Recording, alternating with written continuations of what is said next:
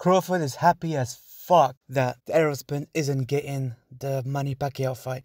And rightly so in a way, because at the end of the day, it's every man for himself, and everybody knows if you've got a half-sized brain, you'll know that Spence has been ducking Crawford. And Crawford thinks that as well, so obviously Crawford's happy that he's not getting the Manny Pacquiao fight because Crawford thought he was getting the Manny Pacquiao fight. So it, it, even if it was like a tomato can getting the Manny Pacquiao fight, Crawford would have been jealous. But seeing that it was his biggest rival in Errol Spence, he would have been even more jealous. And by the way, I don't think there's anything wrong with it. At the end of the day, we're all humans.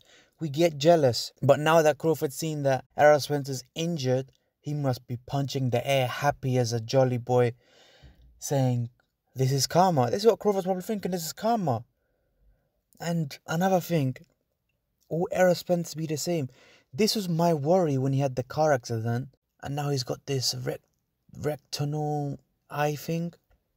But this is the thing: is this eye injury because of the car accident? Obviously, they um, they might be completely different.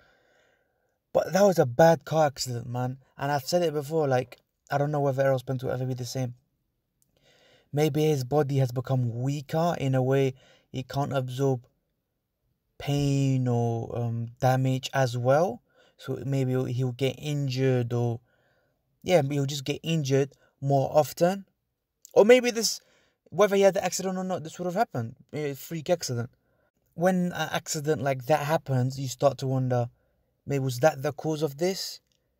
Because if you look at it, Golovkin broke Kell Brook's right eye socket or left eye socket, one of his eye sockets, and literally the next fight, Errol Spence broke the other eye socket.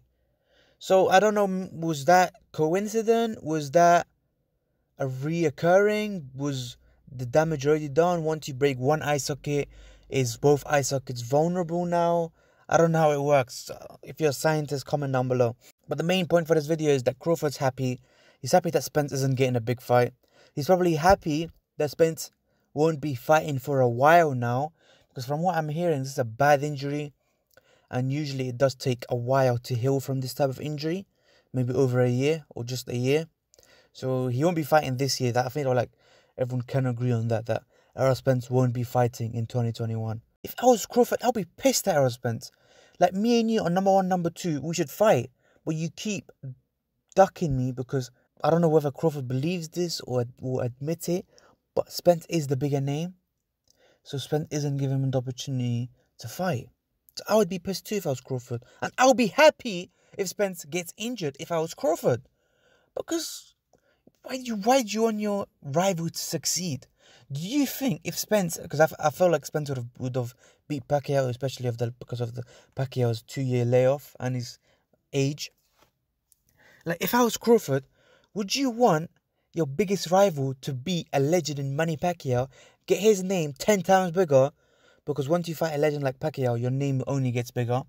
And if he beats Pacquiao in a dominated fashion, which I think he would have because of Pacquiao's age, then that would just make Errol Spence's name bigger and therefore would rightly command for a bigger purse, bigger percentage of the fight purse against Crawford. Like right now, I would say it's probably 60%, 60 40 in Spence's favor. But when, if Spence demolished and destroys Manny Pacquiao, like I don't think you can really argue with Spence if he asked for 75%, 70%, 8 even uh, if you wanted to be greedy, greedy, you could have even 80%. Because I feel like you have to give Pacquiao's name some credit. Like that guy is probably the biggest name in boxing. Like even bigger than Canelo. That's the truth. Like Manny Pacquiao's name is probably bigger than Canelo's worldwide. So yeah, being someone like Pacquiao will only do good things. So I don't really ramble, want to ramble on too much. Comment down below you lot's thoughts. Pacquiao versus Ugas. I'll do a prediction on that fight if you want it. So comment down below your prediction on that fight. I'll do a prediction maybe next week. So yeah, like, comment down below you lot's thoughts. Do you agree with me that Crawford's pissed? How disappointed are you that Spence Pacquiao isn't happening? I guess in a way I'm kind of I wouldn't say happy, but in a way I'm kind of like content in a way. Now we get to see how good Pacquiao is because there was always talks like Ah, uh, Pacquiao lost it now. He hasn't fought for two years. The age is that. So watching him now against Ugas, we're kind of gonna gauge how he, he would have done against Spence. So if Pacquiao does beat Ugas, I feel like the Spence fight will be a lot closer, especially in my eyes, which is the main important thing in my eyes. So yeah, I don't really want to ramble on too much. You think Crawford's happy? Comment down below. Like, comment, subscribe for more bollocks and peace.